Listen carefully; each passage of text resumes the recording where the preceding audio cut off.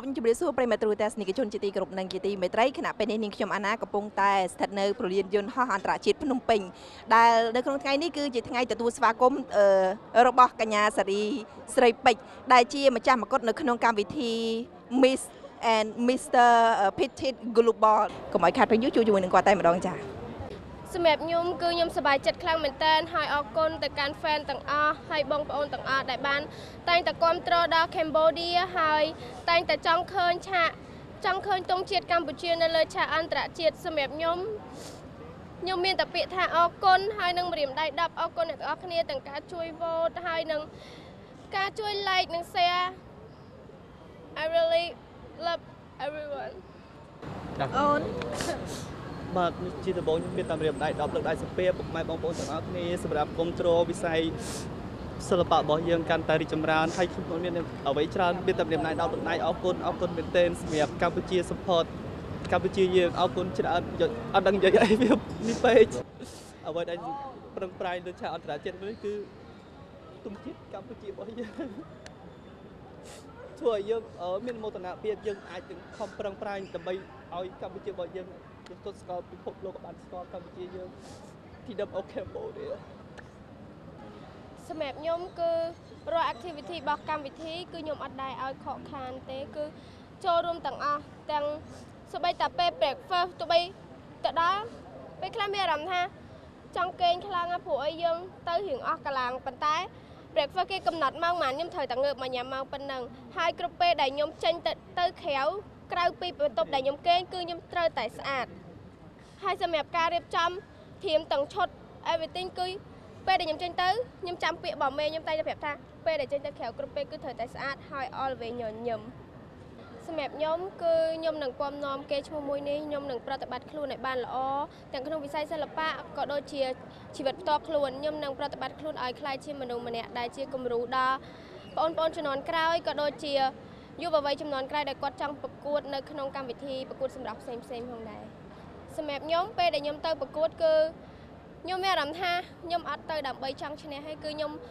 make friendship ហើយខ្ញុំ enjoy ជាមួយនឹងកម្មវិធីខ្ញុំខ្ញុំគិតថាខ្ញុំធ្វើឲ្យអស់ពីសមត្ថភាពទោះបីលទ្ធផលបែបបែបណាក៏ខ្ញុំត្រូវតែទទួលយកអញ្ចឹងពេលដែលខ្ញុំនៅជាមួយនឹង roommate ក៏ដូចជាបេក្ខភាពផ្សេងផ្សេងខ្ញុំលេងជាមួយគាត់ដូចជាបងប្អូនដូចជាមិត្តភ័ក្តិដូចជាគ្រួសារតែមួយអញ្ចឹងពួកខ្ញុំអត់មានអារម្មណ៍ថា ពួកគាត់ជាគូប្រជែងមួយខ្ញុំទេប៉ុន្តែគ្រាន់តែនៅលើឆាកវាជាការប្រកួតមួយផ្សេងគ្រាន់តែនៅក្រៅឆាកពួកខ្ញុំគឺស្រឡាញ់គ្នា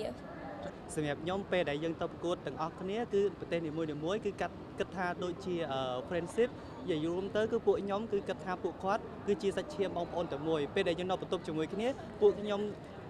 ស្រឡាញ់គ្នារាប់អានគ្នាមានអីចែកគ្នាញ៉ាំហើយអ្វីដែលសំខាន់ជាងគេពិសេសនោះ បណ្ដាំមេខ្ញុំអត់ភ្លេចទេចេញពីបន្ទប់គឺ the best គឺស្អាតស្អាតជានិច្ចគឺកម្ពុជាចេញមកឲ្យដឹងថាយើងពិតជាស្រស់ស្អាតចេញពីខាងក្នុងទាំងបេះដូងទាំងផ្លូវចិត្តអារម្មណ៍រំភើបនិយាយក៏ចង់ចេញដែរអូនហើយចង់និយាយថាពេលដែលឃើញរូបកូនពេលណាគឺយំយំដូចថារំភើបហ្នឹងមិនយំមានវិបត្តិអីគឺយំរំភើបមនិតស្មានថាកូនស្រីខ្ញុំមកដល់ថ្ងៃនេះគាត់ធ្វើបានទេអញ្ចឹងណា ខ្ញុំសូមអរគុណដល់ប្រជាពលរដ្ឋយើងនៅកម្ពុជាទាំងអស់អរគុណយ៉ាងធំធេងដែលបានគ្រប់គ្រងកូនស្រីខ្ញុំសារីស្រីពេជ្រនេះបានដល់ចំណុចនេះចាំថ្ងៃនេះខ្ញុំមានអារម្មណ៍ថារំភើបញាប់ញ័រមកគាត់តែលឺប្រាប់ថាបងអូនស្រីទៅធ្វើបានសម្រាប់ចាស់ខ្ញុំសែនអរអើយអរឥឡូវខ្ញុំបានមកត្រឹមត្រូវពេញតំហឹងហ្មងគឺល្អលេខ1មកសម្រាប់ខ្មែរយើងខ្ញុំចង់និយាយប្រាប់ថាបងអូនស្រីពេជ្រគឺ ពូនម្នាក់នេះនៅតស៊ូមតិរបស់បងអូនជានិច្ចតទៅថ្ងៃមុខនៅតាមបីឲ្យប្រទេសខ្មែរយើង គឺដោយសារថាយើងថាយើងអាចធ្វើបានចេះគឺសប្បាយខ្លាំងមែនតើបងដោយសារតបងស្រីពេជ្រគាត់អាចធ្វើបានណាបងបាទអូយបងនឹងធ្វើអ្វីនិយាយអត់ចេញមានបងស្នាប់ពេជ្ររបស់គាត់មែនតើបងបាទហ្នឹងហើយបងគ្រប់គ្រងសេពេជ្រយូរនៅគឺយូរអីបងថ្ងៃនេះមានមោទនភាពខ្លាំងដោយសារតែខ្មែរយើងអាចធ្វើបាន អ្នកមីងក៏សូមតែជូនពរឲ្យចាឲ្យបវរកញ្ញាខ្មែរយើងឲ្យឈានចំណាក់ថ្នាក់ឈ្នះគេរហូតចាតែទីណាក៏សូមឲ្យឈ្នះរហូតចាឲ្យឈ្នះរហូតរំភើបបងមោទនភាពទេមានមោទនភាពបានមកតួបបរកញ្ញាខ្មែររបស់យើងចារំភើបខ្លាំងពេកនិយាយមកយូរនៅមកតែម៉ោង7អូចាចាបងនិយាយទៅគឺអារម្មណ៍គឺរំភើបតាំងពីគាត់អឺទទួលបានមកគាត់ ហើយនឹងបងប្រុសគាត់អឺទោះបីជាគាត់អត់ទទួលបានមកគាត់ខាងបរោះប៉ុន្តែយ៉ាងណាក៏និយាយទៅគឺសរសើរសមត្ថភាពរបស់គាត់និយាយទៅអារម្មណ៍គឺរំភើបខ្លាំងណាស់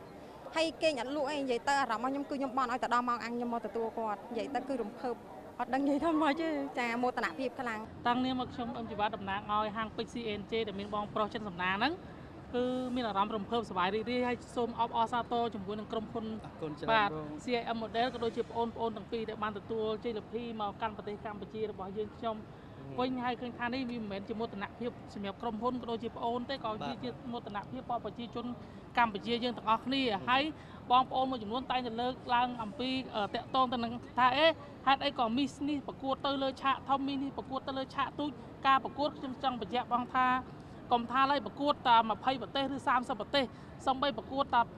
ប្រទេសនិងប្រទេសវាមិនមែនទៅតែយើងប្រកួតលើឆាកធំធំឬប្រកួតកន្លែងណាដែលពិសេសបានរៀងហៅតំណាងជាតិប៉ុន្តែតែប្រកួតតែប្រទេសនិងប្រទេសហ្នឹងហើយប្រទេសកម្ពុជាយើងឈ្នះគឺបានន័យថាយើងតំណាងប្រទេសហើយអញ្ចឹងសូមឲ្យបងប្អូនទាំងអស់គ្នាកុំគិតថាអេឆាកតូចឆាកធំអីតែប្រកួតនៅស្រុកគេកុំគិតអញ្ចឹងគឺថា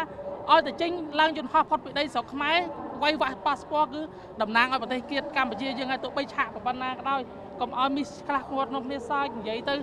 អឺក្នុងន័យមួយគេហៅថារិះគន់ជន់បលិចសូមឲ្យរិះគន់ដើម្បីស្ថាបនាព្រោះឲ្យប្រទេសកម្ពុជាយើងទ្រាំបានប៉ុណ្ណេះបវរកញ្ញាយើងគឺគាត់ខំប្រឹងប្រែងណាស់ទៅអ្នកខ្លះអត់មានទាំងលុយទៅតាមខ្លួនផងប៉ុន្តែមានការសហការជាមួយក្រុមហ៊ុនជាមួយអ្នកដឹកនាំជាមួយអីចឹងទៅបានទទួលភាពជោគជ័យយើងសូមអបអរសាទរចាបងគឺរំភើបមែនតែនដោយសារដូចអឺទស្សនិកជនបានដឹងទាំងអស់គ្នាចឹងគឺជាមង្គតទី1ដែលបាន សម្រាប់កម្ពុជាចាគឺថារំភើបដល់ថ្នាក់ដែលយំធំឈប់ដែរបងចាចាអូយបើនិយាយពីរំភើបមិនតែនាងខ្ញុំទេប្រជាជនទូទាំងប្រទេសកម្ពុជារបស់យើងគឺសិតតែរំភើបទាំងអស់ព្រោះអីខ្មែររបស់យើងគឺពិតជាអស្ចារ្យយើងចង់បង្ហាញឲ្យពិភពលោកបានឃើញថាខ្មែរយើងអត់អន់ទេមកកត់ក៏ខ្មែរយើងអាចយកមកបានដូចគ្នាដែរនេះគ្រាន់តែជាកម្មវិធីទី1ឯងនៅកម្មវិធីបន្តបន្តទៀតនាងខ្ញុំជឿជាក់ថាអញ្ចឹងហ្មងចាចាបងនិយាយទៅបងគឺពួកខ្ញុំនឹងខំប្រឹងអស់ពីសមត្ថភាពដើម្បីបញ្ចេញថាភាព អំពីកម្ពុជានៅលើឆាកអន្តរជាតិគឺខ្លាំងធ្វើបានដូចគ្នាចាចាបើសម្រាប់នាងខ្ញុំវិញនាងខ្ញុំចង់ឲ្យអឺទស្សនិកជនទាំងអស់គាត់បានដឹងថាបវរកញ្ញាក៏ដូចជាបេក្ខភាពដែលគាត់ចេញទៅប្រកួតនៅក្រៅប្រទេសទាំងអស់គឺមិនមែនដើម្បីខ្លួនឯងទេប៉ុន្តែដើម្បីពាក្យថាខ្មែរដើម្បីទង់ជាតិប្រទេសកម្ពុជាដើម្បីឲ្យពិភពលោកបានឃើញថាកម្ពុជារបស់យើងគឺពោរពេញទៅដោយមនុស្សដែលមានអឺចង់និយាយថាខ្មែររបស់យើងក៏អាចធ្វើបានដូចគេអញ្ចឹងហ៎បងចាអញ្ចឹងបងក៏សូមជូនពរអូនទាំងពីរនាក់ដូចគ្នាណា ចានៅក្នុងពេលឆាប់ឆាប់ដែលនឹងត្រៀមចេញទៅប្រកួតនៅក្រៅប្រទេសសូមឲ្យទទួលបាននៅជ័យលាភីដែលល្អនៅក្នុងកម្មវិធីប្រកួតទោះទទួលបាននៅជ័យលាភីអ្វីប៉ុន្តែសង្ឃឹមថាប្រជាប្រដ្ឋខ្មែររបស់យើងនៅតែបន្តគ្រប់គ្រងទៅលើវិស័យបវរកញ្ញានេះឲ្យកាន់តែរីកចម្រើនបន្តបន្តទៀតចាអរគុណអូនបាយបាយ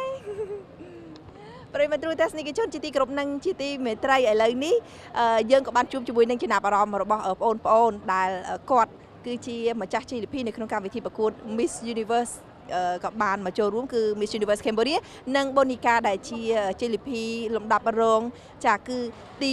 2ក៏បានមកចូលរួមគ្រប់គ្រងទៅលើសេពេចផងដែរចាហើយនៅវគ្គក្រោយបន្តបន្តទៀតគឺនាងខ្ញុំនឹងធ្វើការអាប់ដេតនៅព័ត៌មានថ្មីជាបន្តបន្តទៀតជូនទៅដល់ប្រិយមិត្តទ្រូទស្សនិកជនតាក់ទងជាមួយនឹងអឺការចូលរួមប្រកួតនោះថាតើពួកគាត់ឆ្លងកាត់អ្វីខ្លះលំអិតឲ្យកាន់តែស៊ីជម្រៅបន្ថែមទៀតតាក់ទងជាមួយនឹងការខិតខំប្រឹងប្រែងរហូតទទួលបាននៅមកុដនៅក្នុងកម្មវិធីប្រកួតលំដាប់អន្តរជាតិគឺ Miss and Mr Petite Global 2022